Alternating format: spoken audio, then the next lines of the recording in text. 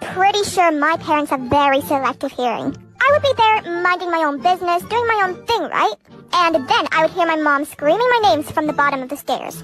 So I would go like, what? Really loudly. And so many times, but she literally wouldn't be able to hear me. Then I would have to go down and my mom would just be there asking, oh, what are you doing? But when it's like 2 a.m. in the morning and I'm calling my friends, whispering, barely making a sound, basically just breathing, she would already be storming to my bedroom, half asleep, yelling at me to shut up.